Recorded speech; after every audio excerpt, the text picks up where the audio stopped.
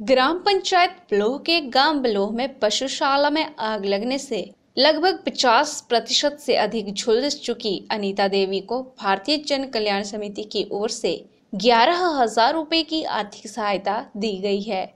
भारतीय जन कल्याण समिति के मुख्य सलाहकार व प्रसिद्ध समाज सेवी प्रकाश शर्मा को जब इस संदर्भ में जानकारी मिली तो उन्होंने प्रभावित महिला के बैंक खाते में संबंधित राशि डालने के साथ ही पीड़ित परिवार को विश्वास दिलाया कि निकट भविष्य में भी उन्हें हर संभव मदद उपलब्ध करवाई जाएगी।